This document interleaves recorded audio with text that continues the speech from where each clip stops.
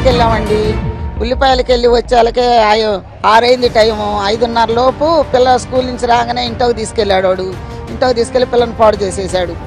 మా చెబితే మటుకి నిన్ను మటుకి చంపేస్తాను. మీ అమ్మ మగ్గని చెబితే మటుకి నేను చంపేస్తాను అన్నాడు.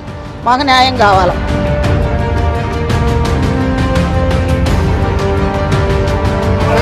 ఉల్లి గురించి మాట్లాడుతున్నారు